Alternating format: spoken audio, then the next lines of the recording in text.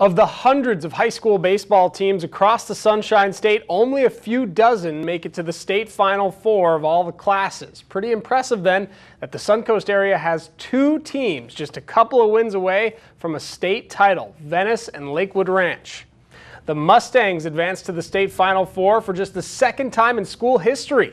That after beating Winter Haven 4-1 on Friday night in the regional finals. Last time Lakewood Ranch made it was 2003 when the Stangs won the 5A state title. Ranch will play Southwest Ranches Archbishop Edward McCarthy School on Thursday night at 7 p.m. That's a mouthful.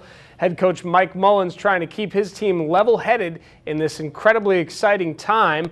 This is a group of guys that's played together since Little League. Most all the team has known each other for years, so that should help. So we're looking at, you know, eight or nine seasons here. Uh, it's a group that's played together since they were toddlers and uh, just a, a, special group. A lot of seniors, 12 of them. Uh, they're very loose, they're even keel, they don't get too hyped and they don't get too down. And uh, you know, that, that's what makes them special. We've been talking all year that we want to get to Port St. Lucie and now that we actually have the chance, we want to go and finish what we started.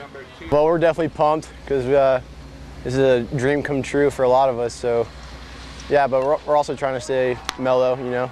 For, for a coach to be able to take his kids to the Final Four is, is special.